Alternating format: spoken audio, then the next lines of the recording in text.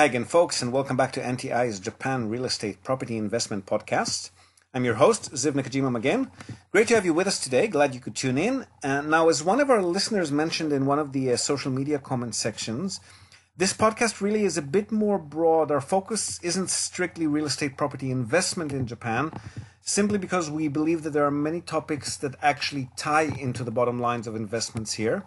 So we do occasionally talk uh, general business, economy, even social issues at times, and most definitely about many other things that are related to Japan's real estate property arena. So things which can and usually do tie into real estate property investment, either directly or indirectly. And tonight's interview is a case in point again with us on the line from Osaka is Tom Legge, originally from the UK. Now, Tom's, who's been living in Japan for the past five and a half years, is currently living with his wife Yuko in a, uh, to quote from his blog, perfectly nice, modern, but small rented apartment in the center of Osaka. Now, that blog is amazingly insightful. It's called the Osaka House Project. And Tom and Yuko have, since mid 2016 or so, been feeling what many of us here in Japan often feel, which is a yearning for more space. So, that's really a very common feeling for many of us, uh, especially the foreigners here who are used to larger living arrangements in our country of origin, or again, as he beautifully puts it, um, space that just cannot be found in the center of the city unless you're a hedge fund manager or happen to own a park. Space to have a barbecue in the summer without fear of setting the neighbor's apartment on fire. Space to sit outside without having to reposition all of the uh, washing on the balcony. Space to cure and smoke bacon on an industrial scale. I love that one, Tom space to uh, perhaps work or run a business from home, space for some kids to run around, etc., etc. So, having started the search for these um, suitable properties, uh, this young couple who are aged 29 and 31 have quickly come to the conclusion that what they really want is not an existing home, which might be new but sort of cookie cutter modern Japanese style with all that that entails or even an older Japanese style house that'll probably require a whole lot of work to bring up to their standards, if that's even possible. But I think at this point we'll let Tom take over and maybe explain a bit about the journey that they've been on. Tom, welcome and thank you so much for joining us today. It's awesome to have you here on the show. Hi, um, great to be here. Thank you for having me. So, first, before we get right into the uh, house project story, can you maybe tell us a bit more about yourself, the origin story, so to speak? So, how did you end up in Japan? What do you do here?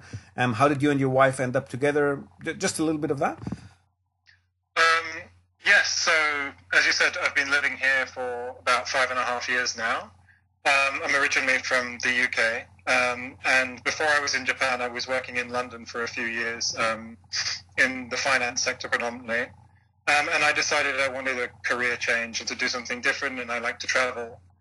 Um, so, like many foreigners here, I came to work as an English teacher. Um, I started on the JET program working in Hiroshima, Hiroshima Prefecture, in the east part of the prefecture, in kind of a smallish, well, pretty small town, I would say. Um, and I worked there for two years, working at a senior high school, um, which was a fantastic experience. Um, and decided that I liked teaching, but also during that time I, I met my now wife, um, and um, from that point on um, decided that I really liked uh, Japan, but wanted to move beyond sort of the small town lifestyle um, and go to, to work in a, in a bigger city, I guess. Um, so I finished working at the high school and took a job with the British Council um, now, when I was working at the British Council, um, I was charged with setting up their office in Osaka, which uh, closed last year. Um, but because the office wasn't set up, I actually had to go and live in Tokyo um, for the first six months. Um, so I looked on a map and, excuse me, it was um, was trying to work out where to live in Tokyo. I'd spent a little bit of time there before, but really didn't have much of an idea. Um, and I was looking on the map and I thought, well, Minatoku, that looks like a good place to live. Um, I didn't realize at the time that Minatoku was quite so expensive.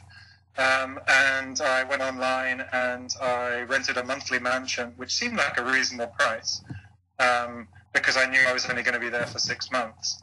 Um, and when I arrived in Tokyo, I saw sort of the details of this monthly mansion. It was 11 square meters. Um, 50, 55, year, 55, years old, and uh, was situated above quite a smelly falafel shop. Um, but it was in the best district in Tokyo, and it was a great place to live. I didn't have to commute in on the train from Saitama or anything like that. I could really enjoy living in the center of Tokyo.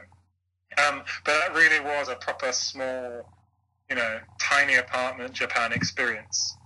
Um, and my wife was actually, she was in, was not my wife then, but she was in Ireland at the time doing a working holiday. Um, so I wasn't quite sure when she was going to come back. So when it came down to moving to Osaka to, to start the office and start this job, um, originally I envisaged living by myself. Um, and as it happened, my wife came back from the working holiday a little bit earlier, so I had just rented quite a small apartment um, in Osaka, which I expected to live in by my by myself. Um, and then, you know, a couple of months later, and, and my, my wife was living with me. So that was ooh, three and a half years ago now. And when you so, when you say small, how small are we talking about for the uh, couple yeah, apartment? It's sort of a one DK. It's about 35 square meters or so. So so great for one person certainly, and it's right in the center of Osaka.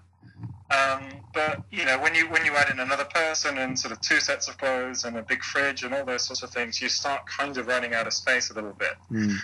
Um, and I think probably after about a year of that or so, that's when I started sort of noticing that I really didn't have enough space.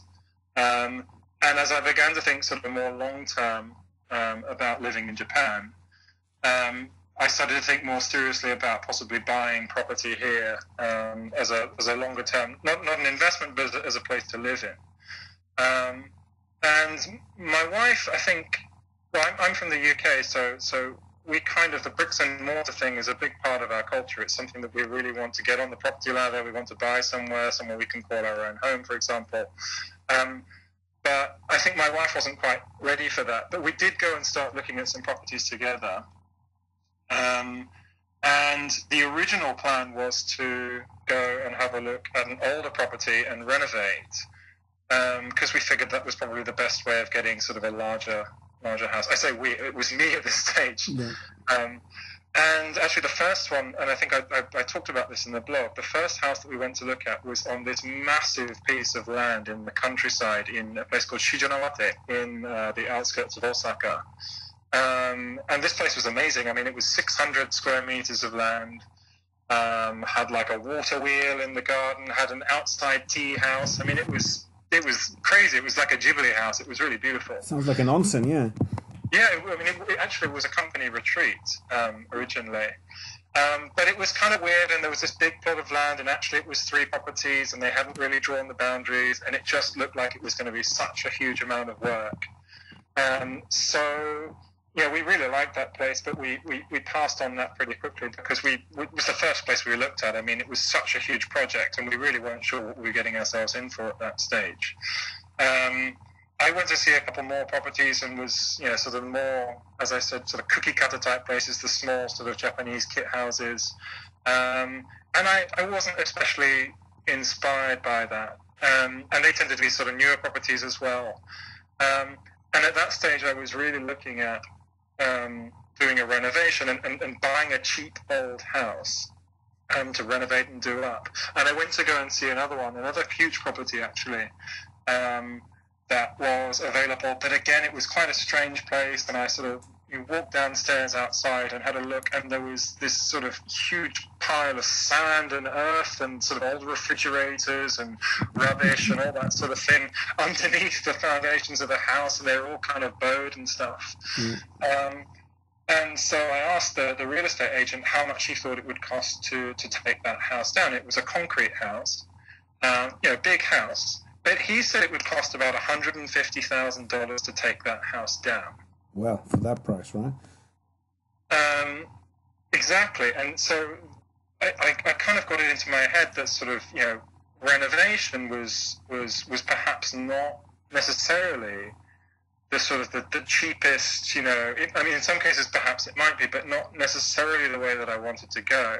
Mm. Um, and then around that time also there was an earthquake, I remember, which happened. Um, and um, it got me looking at some of the regulations and things like that. Um, and I was a little bit worried about sort of, you know, earthquake safety and how much we might have to put into a property in order to make it safer, you know, not necessarily for ourselves, but if we have kids and things like that. Yeah. Um, so actually the, the, huge house with all the appliances under it, that was actually the last property or sort of fixed renovation type property that we went to look at. Okay, so you look at all these properties and then you or both of you just realize that maybe that won't do or maybe there's better ways to spend your money or definitely ways that you know at least you're going to end up with something that you really want to live in. And then you sort of what came to the conclusion that you want to build your own house? Um, yes i think it was it was really you know looking at these properties and looking at the renovation um, and then sort of getting quotes and talking to people for example. And i think to get the sort of renovation that we wanted um, it was always going to be this huge task.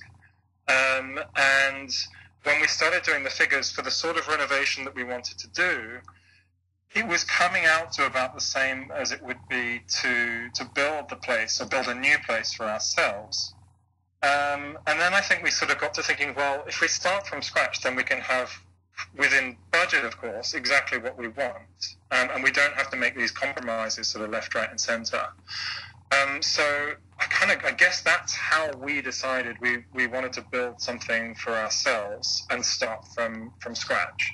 Right. I mean, it, it does make perfect sense, doesn't it? I'm sure there's a lot of uh, listeners out there that are now coming or maybe have already come to that same conclusion, but it still must be a bit of a scary thought, no? For someone, especially from a different country, uh, maybe at that time, maybe not super fluent in Japanese, or definitely not in Japanese real estate terms, I would assume. I mean, the property search would have taught you some of that, but how did you even start?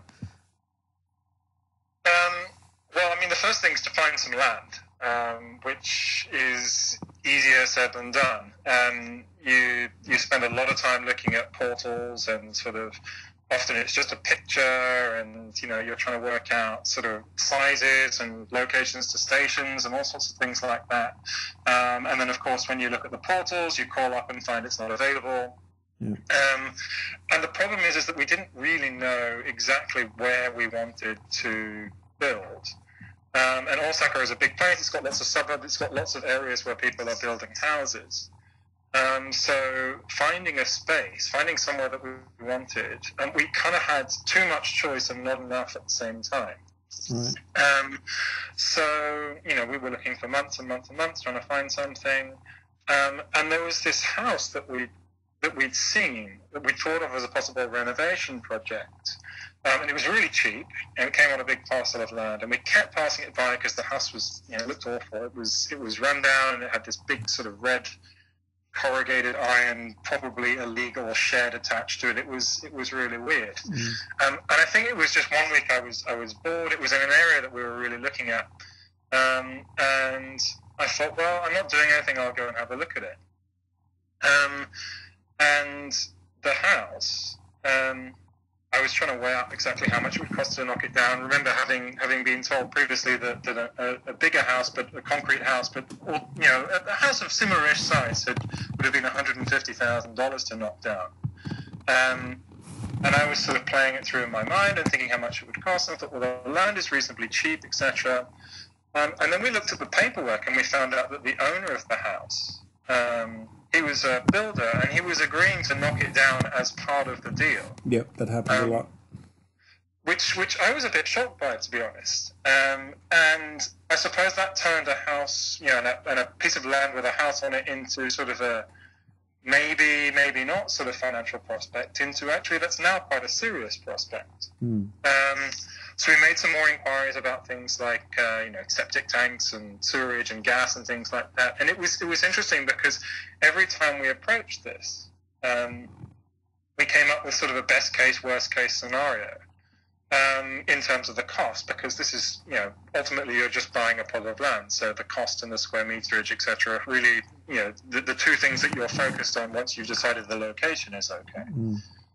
Um, and once we once we'd realised that actually we were we were at the top end of these, as in as in the good end of all of these sort of you know worst case, best case scenarios that we were looking at. Um, actually, the land became actually a really good deal. Um, and we got to the point whereby we decided actually we're going to put in an offer. Um, at this stage, this is not a simple flat piece of land. This is uh, a three-stepped um, up on a hill, um, you know, 280 square meters of which about 240 square meters is easy to build on, and the rest is impossible to build on. So it's not an easy piece of land. It requires a bit of vision or stupidity or whatever you want to call it. um, but also this plot of land because I think you know it does have these issues associated with it, and it wasn't clear that the house was going to be knocked down. It had been on the market for quite a while. Um, so we put in an offer at about 25% below the asking, asking price as a sort of a starting point to start a negotiation. Yeah. And I got a call two days later from a pretty shocked estate agent saying they accepted it. Oh. Um, at which point, my wife and I sort of looked at each other and said, "Well, what do we do now? Do we have to buy it?" um, like it's it's one of those things whereby if you don't, if you if you sort of throw in an offer without really really thinking too much about it and just saying, "Well, we'll start from here," then when it gets accepted, you kind of think, "Well, did we did we really think this through?" Um, but then we you know we decided to go ahead with it. We thought it was great. Um, and then we realized we had to we had to build a house on it. Yep. Um, and I mean, how do you do that? It's it's it's there's such a, a, large amount of choice. There's hundreds of builders. Do you look at pictures? Do you go on reviews? Do you ask around? You know, what sort of area do you look at? Do you look at the district? Do you look at the city? Do you look at the suburb? Do you look at the whole city? Do you look outside the prefecture, for example? um, we had no idea what we were doing. Um, is that point we realized, you know, we, we, we didn't really know what the best way to approach this was. Right. So builders, I mean, building companies usually also come with their own um, architect. I mean, maybe that, that's usually the first point where you start, right? So your own architect or the building company's architect, and that's kind of a a major decision. How did you how did you approach that one? I mean, did, did you like weigh out the pros and cons, or is it just an you know, price and creative freedom like in any other country? Is there maybe anything uniquely Japanese in those decisions? Well, the uniquely Japanese part, I don't know because I've never done this before. Yeah. So um, I think we kind of just kind of guessed. We, we did put together a, a pros and cons list um, for, for having an architect. And we considered those two things as, as kind of the, the A or B option, right? You either take the architect and you, you deal with the architect and then you use the building company once the designs are all done, or you use a building company. And we, we sort of saw these as the two polar opposites.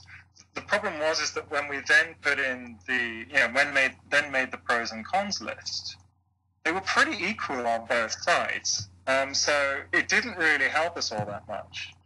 Um, from, from, from what I remember, when we were thinking of the pros of an architect, the first thing we thought was it was a genuinely bespoke house. Um, kind of one of a kind, unique, etc. And you're not limited by the house builder's motives to push you in a particular direction, to a design they've done before, or to materials that they, they know they can source at a big markup or something like that. Mm. Um, we also felt that if we use an architect, we wouldn't be restricted to a single house builder or to particular specialisms. We could start with what they want, and then the architect could find us. But then, how does um, the price compare?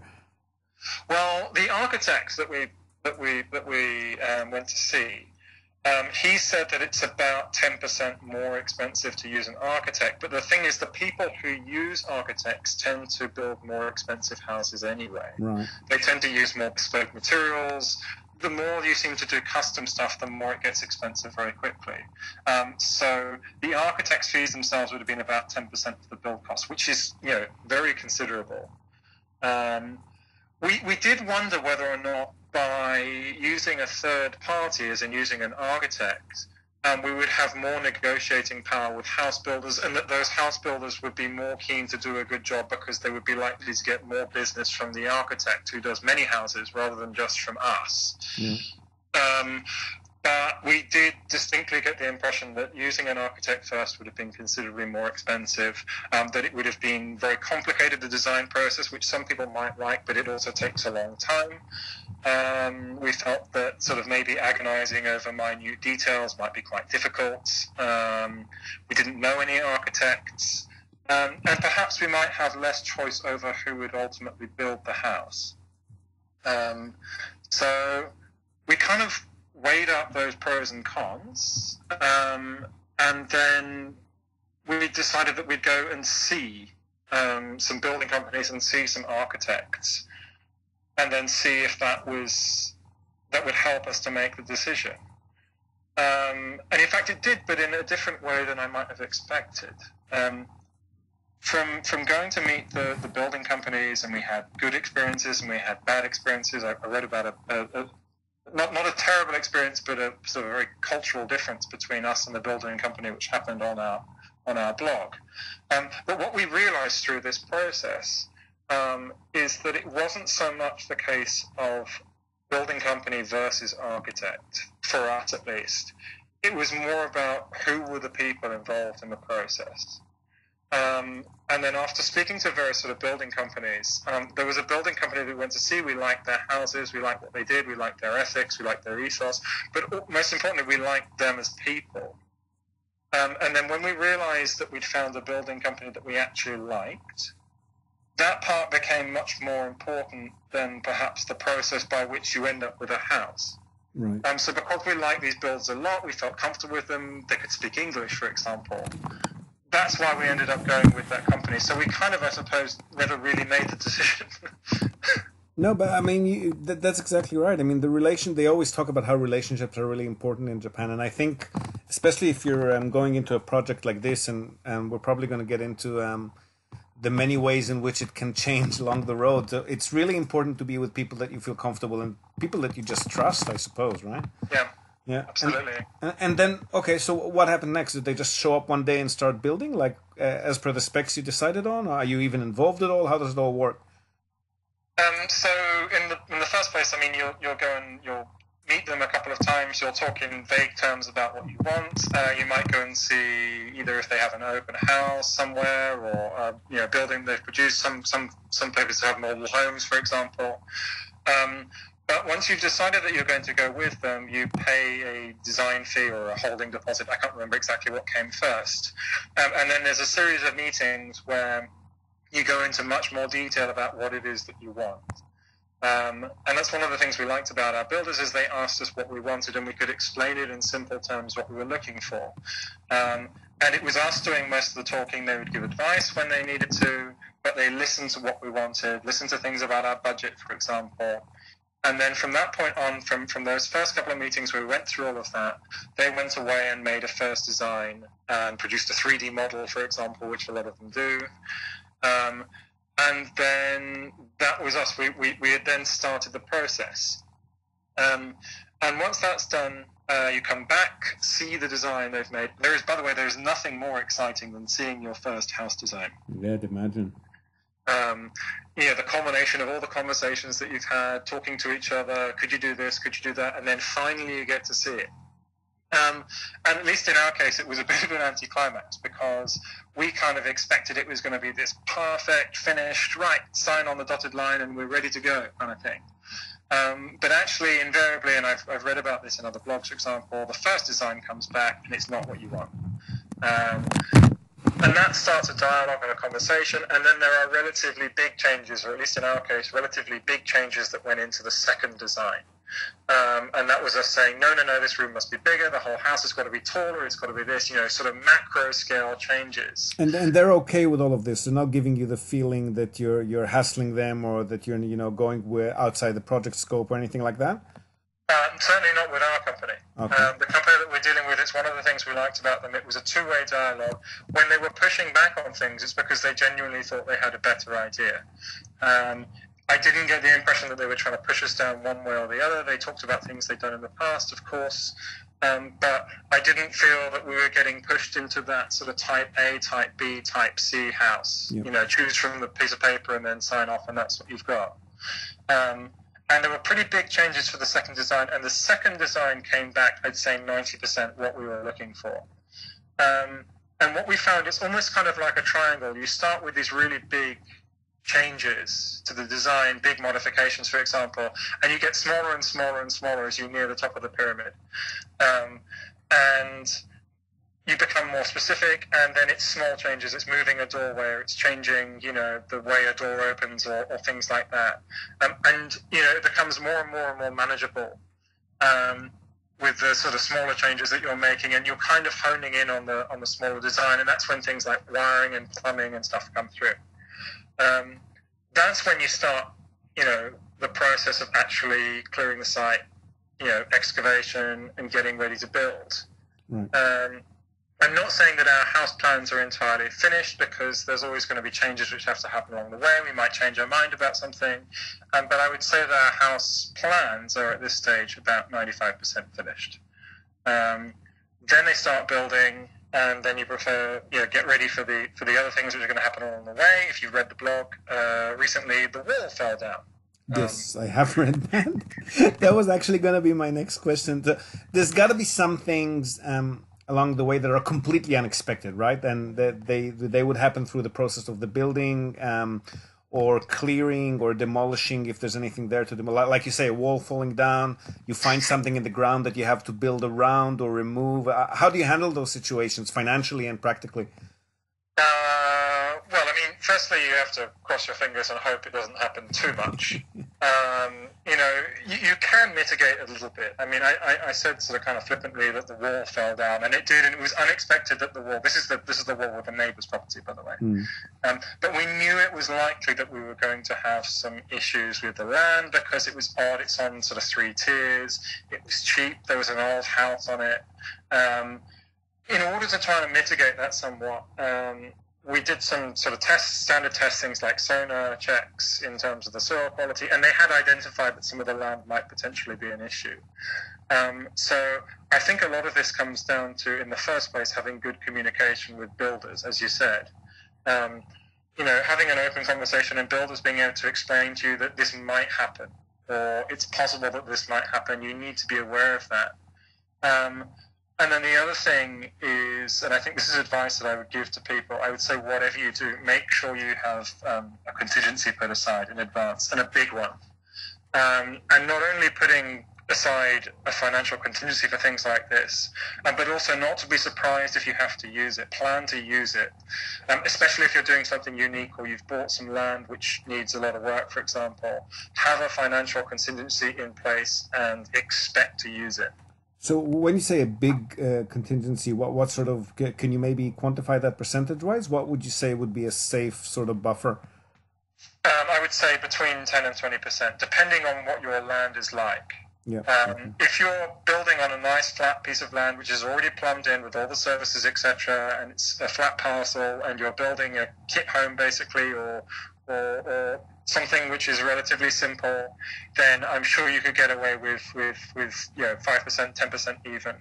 Um, but I mean, obviously everyone's financial situation is different, but the more money you can put aside for the contingency, this is not money that you have to spend. This is money that you might have to spend, and if you can kind of earmark that for the project.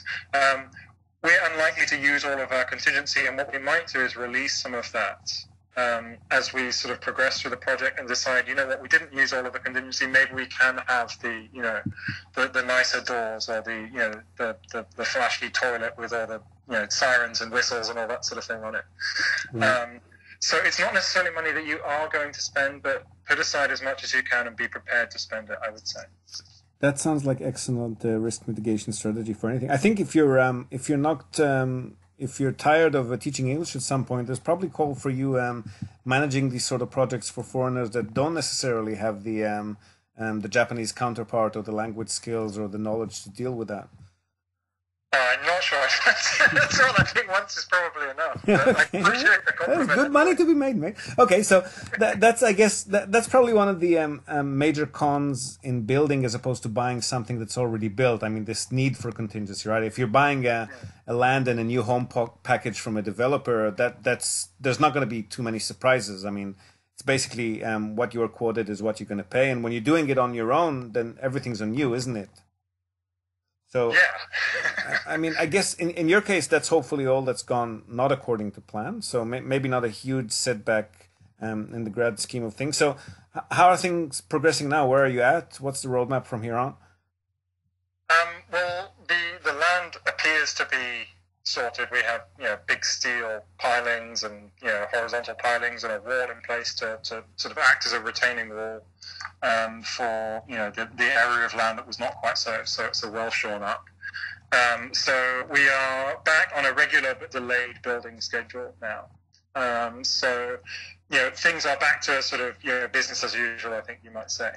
Um, of course, we'll be we'll be a lot happier when we've made some more progress. I think, generally speaking, you know, once the frame is up, um, you feel a little bit happier about the whole pro- process. It's more likely that you're going to uncover sort of you know demons when it's when it's dealing with the land itself, because obviously you can't see what's under the ground. You don't know what it's going to be. Mm. Um, we're we're looking at perhaps September um, as a potential sort of finish date. Um, I think that's actually something that we we underestimated. As, as, I, as I mentioned in the blog, it's we, this has been an ongoing process for, for two, two and a half years now. And I hadn't quite realized at the start, when you decide to build a house, um, it is literally something you think about all the time. Um, you know, there is, there, is, there is not an hour goes past in the day where I'm not thinking about the house in some form or another. Mm. Um, so, as with all of these things, it's not so much the, the stress of the building itself, um, but it's the waiting um, and sort of the understanding, the feeling that this is going to have a pretty monumental impact on our lives. Um, I think my, my wife would hate me for saying this, but probably more so than getting married. No, I have heard about quite a few couples that have actually ended up divorcing over building a house. You, you well, let, us let's, let, let's hope that that doesn't happen. But no, no, no, no. It's, it's, the waiting that kills you. Yeah. Um, you know, with any luck, we won't be waiting too much longer. Um, but you know, this is this is house building. You never know. Yeah, fingers crossed. Okay, that, well, that's awesome. Thank you so much, Tom. I, I think that gives um, listeners and when we uh, do a transcript, probably readers as well, a really good insider's view of these types of projects, which a lot of people are interested in. So anyone's you know is considering buying their own place, but they're not really sure what exactly um, this kind of uh, uh, plan of building involves here in Japan now have a better idea and maybe um, less of a fear factor um, and you know the freedom to explore that option. So thank you again for sharing all of this with us. Um, if possible, we'd love to have you back here again once the work's all done and you've moved in or you're just about to move in. So maybe give us a wrap up summary of the project and hopefully with a happy ending too. Um, that would be awesome. Yeah, I'd be I'd be delighted to come back on again, and uh, I've really enjoyed talking to you about the, the project and. Uh, hopefully providing some some useful, at the very least, interesting information to the listeners. Oh, you have been, and on the blog too, folks. We're going to link to uh, the blog uh, in the show notes, so you can read um, all about um, the past, present, and uh, hopefully the future uh, progress of this project. Um, we're definitely going to bring Tom back here um, again. So that is probably it from us today. Thanks again, Tom. Thanks for uh, joining us. Thank you. And uh, folks, thanks for tuning in. Just to remind you, we're still taking taking your questions for the uh, Q and A sessions that we've just started. So, any question or number of questions, as long as it's in audio or video format. So, same topics you've been asking us about in writing, by email, in the comment sections. You can ask us about those. Anything you've heard on the podcast, um, other topics that you'd like us to talk about at any point. And of course, you can also feel free to send in questions to the other people that you've been hearing from here. So, interviewees like Tom, who I'm sure will be happy to come back and answer those questions for you even before the project is done. Um, Duncan from the Japan Story blog, Kevin from JPI Crowdfunding, or anyone else that you've heard here. All it takes is just a minute of your recorded um, video or audio if you're too shy for video. And we promise to make you a worldwide internet success story overnight, or at least try to. So do, do leave us your comments, or even better, a short review or just a star rating in the iTunes Store or the podcast repository.